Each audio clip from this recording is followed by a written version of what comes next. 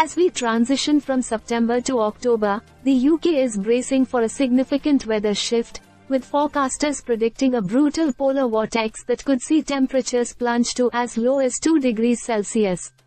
This alarming forecast comes from various weather models and charts that indicate a sharp drop in temperatures across the country, especially in northern regions. Key areas expected to be affected include the Highlands, Perth and Kinross, and Stirling, which are preparing for snowfall as early as October 2nd. The latest insights from meteorologist James Madden of Exacta Weather highlight that regions like the Cairngorms, Ullapool, Inverness, and Fort William will likely experience not just flurries, but substantial snow accumulation.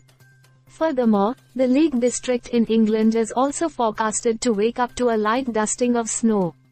It's quite unusual to see such wintry conditions this early in the season, but the arrival of September snow events serves as a promising indicator for ski resorts gearing up for the winter months ahead.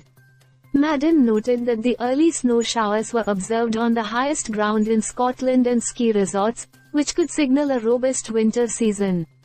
He warned that additional wintry weather could unfold overnight, particularly in the Cairngorms and Nevis range.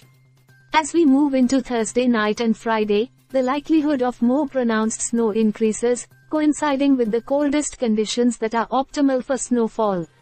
The polar vortex is set to disrupt normal weather patterns, resulting in colder and potentially unsettled weather for the entire UK.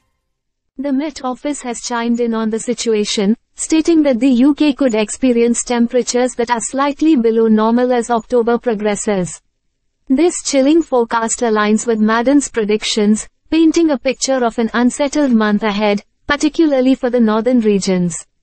The impending wintry blast is expected to bring a mix of rain, strong winds, and possibly more snowfall, especially on higher ground.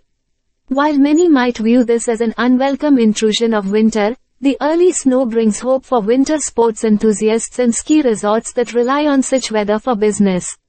The snow cover can help establish a solid base for skiing and snowboarding, enhancing the experience for visitors looking to embrace the winter wonderland. In the short term, the Met Office has also warned of rain, some heavy and possibly thundery, moving across England and Wales. This unsettling combination of weather phenomena suggests a tumultuous transition into autumn, where people should prepare for a mix of wet conditions and the inevitable cold snap.